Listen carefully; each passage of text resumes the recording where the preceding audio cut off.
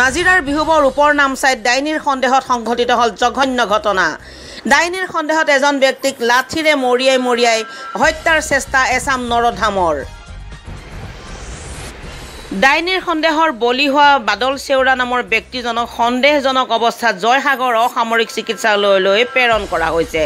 ঘটনাৰ লগত জড়িত পাঁচ যুৱকক ইতিমধ্যে বিহুবৰ আৰক্ষীয়ে আটক কৰিছে। আটকাধীন যুৱককেইজন ক্ৰমে গোবিন্দ চাওৰা আনন্দ চাওৰা ৰাজু চাওৰা অনিল চাওৰা আৰু শিৱা চাওৰা।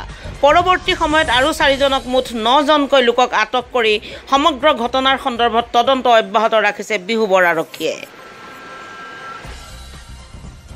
নাজিৰাৰ পৰা পাৰ্থপ্ৰতিম বৰুৱাৰ report any time twenty four.